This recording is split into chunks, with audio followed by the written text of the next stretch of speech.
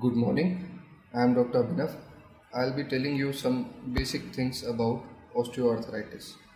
Osteoarthritis is a very common degenerative condition which is affecting almost every individual at certain time in his life.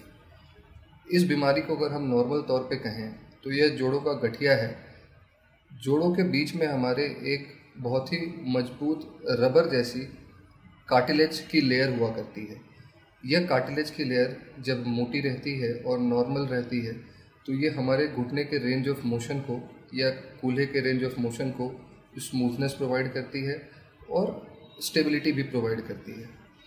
उम्र के साथ अगर ये cartilage घिस जाती है तो घिसने की वजह से जोड़ों में सूजन आना, जोड़ में दर्द होना और ज़्यादा बीमारी बढ़ने से जोड़ों का मूवमेंट कम होकर डिफॉर्मिटी होना भी हो सकता है। कॉमन भाषा में इसे हम गठिया कहते हैं। बट ये दूसरे प्रकार के गठिया जिनमें रेस्ट पेन और मल्टीपल जोड़ों में एक साथ सूजन जो यंग एज में होती है, उससे थोड़ी अलग होती है।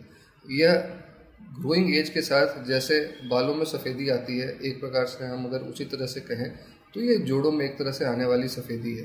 ये age related wear and tear है। जो मेन सिम्टम्स मैंने आपको पहले बता दिए जोड़ों में दर्द होना स्टिफनेस होना स्टिफनेस की वजह से एक्टिविटी कम हो सकती है, जोड़ में मूवमेंट कम हो सकती है, जोड़ में क्रेपिटस या घिसाव जैसी आवाज़ भी आ सकती है। ज़्यादा दिन बीमारी का इलाज नहीं किया गया तो जोड़ बिल्कुल टेढ़े हो जा सकते हैं और चलने में मरीज़ को काफ़ी तकलीफ़ हो सकती है। आजकल दवाइयों से भी इसका इलाज संभव है और ज़रूरत पड़ने पर सर्जरी से भी इलाज किया जा सकता है।